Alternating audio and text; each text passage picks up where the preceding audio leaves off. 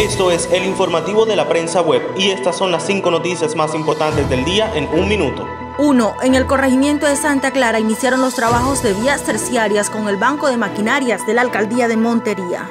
2. Un total de 1.282 millones de pesos invertirá la Gobernación de Córdoba en la construcción de un puente ubicado sobre la quebrada La Raya en la vía que comunica a los municipios de La Apartada y Ayapel. 3. La Procuraduría General de la Nación anunció que abrió indagaciones preliminares a varios departamentos del país por presuntas irregularidades en la ejecución del Plan Nacional de Vacunación. Córdoba se encuentra entre ellos. 4. La empresa ELEC SA encargada del alumbrado público de la ciudad informó que habrá cierres parciales debido a que adelantarán labores de mantenimiento a las luminarias en las fechas que aparecen en pantalla. 5. Llegaron más vacunas a la ciudad de Montería para reanudar el plan de inmunización. Este jueves, la capital de Córdoba recibió 7.300 nuevas dosis de la farmacéutica Sinovac.